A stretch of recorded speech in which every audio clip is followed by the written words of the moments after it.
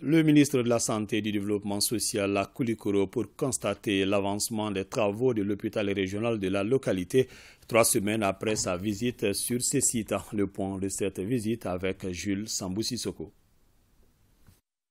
Les instructions de la ministre de la Santé et du Développement social sur la reprise des travaux du chantier de l'hôpital régional de Koulikoro ont été respectées par l'entreprise en charge le 4 août dernier, la date indiquée. Les travaux ont démarré conformément à ce qu'on s'était dit il y a trois semaines. Je suis venu constater qu'effectivement les travaux ont repris le 4 août et les problèmes en cours aussi sont euh, en train d'être résolus et il se poursuivra, Inch'Allah.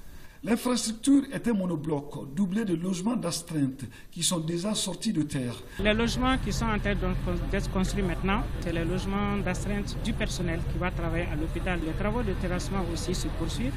Comme toute activité, hein, il faut juste un suivi. Il y a des commissions qui ont été mises en place et au niveau de Kouloukoro et euh, au niveau du département de la santé pour le suivi. je ferai d'autres visites encore jusqu'à la fin euh, des travaux. Madame la ministre de la Santé et du Développement social a insisté sur le rythme à accélérer sur ces chantiers majeurs, car les plus hautes autorités du Mali et les populations de Koulikoro accordent une importance capitale à la réalisation de l'hôpital régional de Koulikoro.